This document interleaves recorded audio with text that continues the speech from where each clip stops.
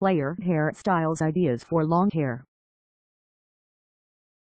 Here are a couple of options for the ladies with long hair and yet would like to maintain a length.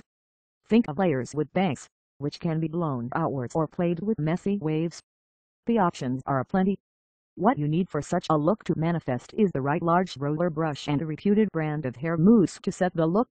While maintaining the length, you can have razor cuts given to the bangs and the sides of the hair, which makes the oomph factor come through.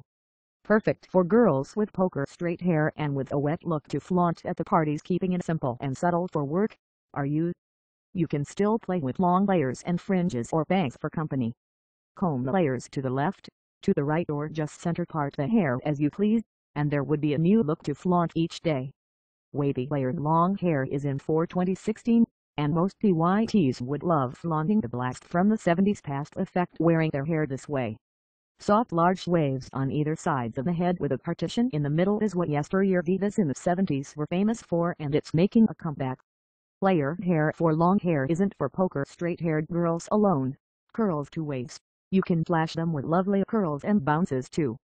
Before putting the hair under those curlers, apply a little mousse to the hair and then a blow-dried effect. The job gets done sooner than you think.